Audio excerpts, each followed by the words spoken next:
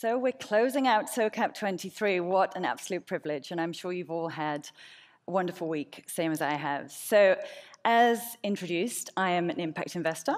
I work with Katapult, and we invest in early stage impact technology companies focused on climate, ocean, and food and agriculture in Africa.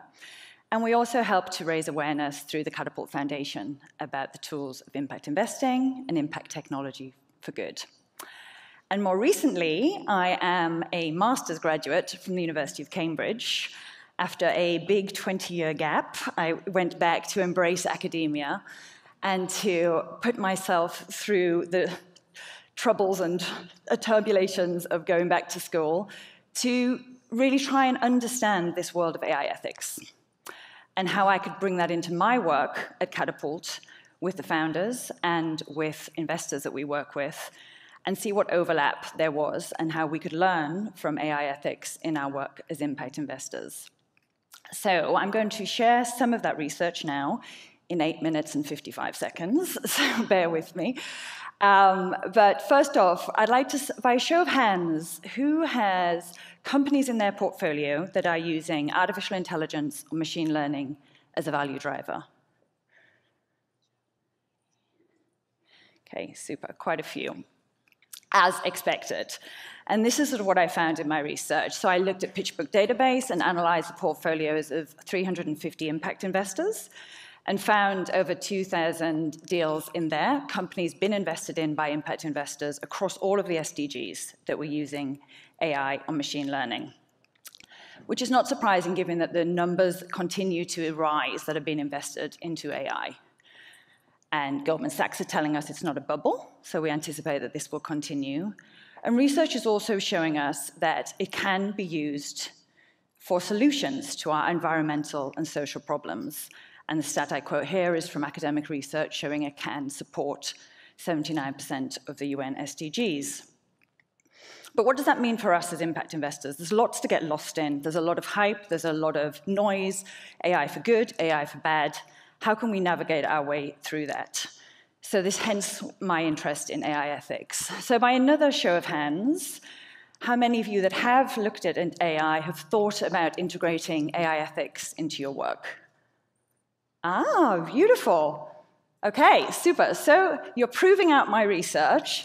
Thank you, SOCAP, in that there are more that have done the investments than have started to think about sort of AI ethics. But I'm quite impressed at this little group here. You need to come find me afterwards.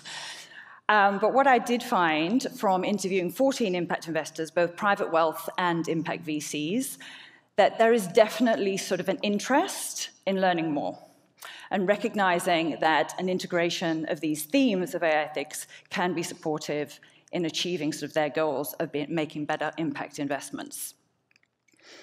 So what does that mean sort of for us and sort of where do I sort of go next sort of with this research and what are these risks that I'm talking about? Well, these risks are real. First off, just thinking about techno-solutionism, you know, critiquing ourselves. Is technology always the best tool for the solution to the problem that we're seeking. But then thinking about some of the investments we might see, so examples such as a company seeking to debias the recruitment process by using sort of algorithmic decision making. But if that tool has been built on data that was already biased, we're just going to perpetuate sort of existing biases and we're not going to get sort of a debiased recruitment process. Or a health company, a mental health company, using classifiers, looking at language being used by individuals to see and raise awareness if somebody's at risk of self-harm. But again, how has this tool been built? How do we know it's classifying and it is going to sort of escalate the correct issues, those that really are at harm, and who might get missed? So by asking these questions about how the tools are being built and thinking about sort of the ethical considerations of those tools helps us think about sort of the overriding sort of impact of those investments.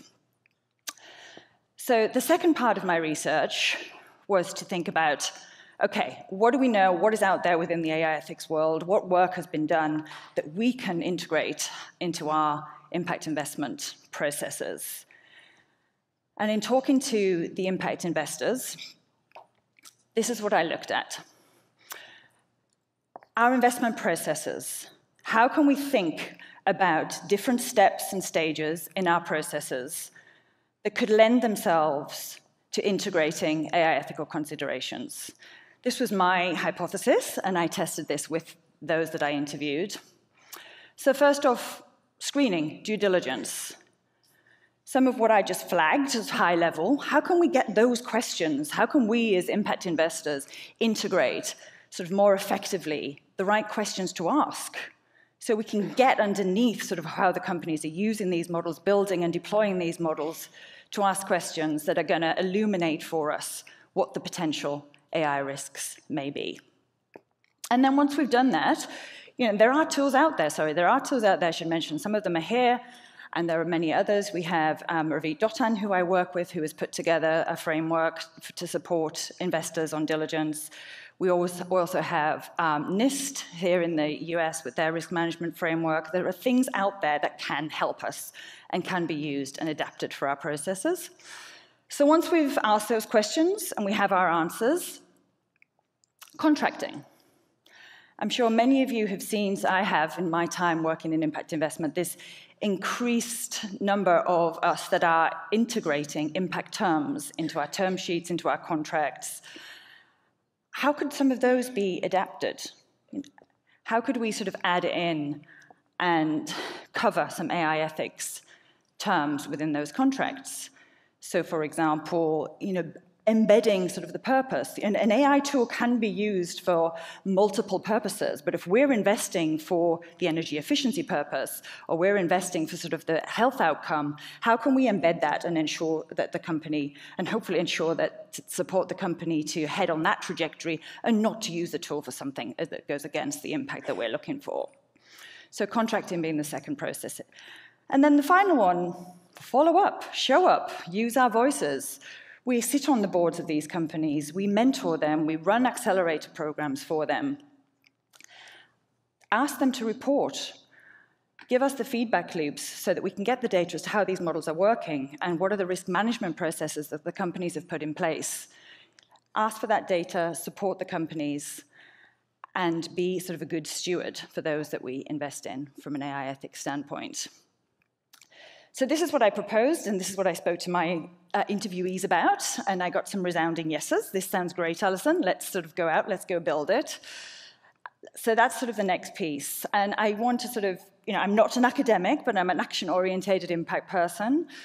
And so, you know, in distilling sort of my two years and 16,000 word dissertation, the key point I'd like to make here today is that this investment is continuing.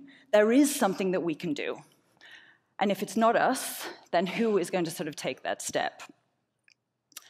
So you've heard from me, and I've done quite well. I've gone pretty fast, and I've got one minute and 51 seconds left. So now I'd like to hear from you. So this is sort of my call to action from the end of this sort of talk, in that I'd like to learn from others that have started, those of you here that raise your hand that have started thinking, reach out to me, follow me on LinkedIn, follow Katapult Foundation, Ravita and I are actually doing a webinar next week on her work, and we'll continue to do so. We will sort of put together sort of content on this topic over a period of months, and we want to sort of bring those of us together that would like to learn more so that we can put together some best practices. And I would also like to build out further the tools that we've considered and make them publicly available. So the Katapult Foundation is supporting this, but I'm also looking for other funders so that it's not just me. I can sort of work with others um, and we can build out sort of more of these tools. So I hope, in by doing this, that next time if I come and ask for those to put their hands up that are working with AI ethics, integrating AI ethics, we have a few more of you in the audience raising your hands. Thank you very much.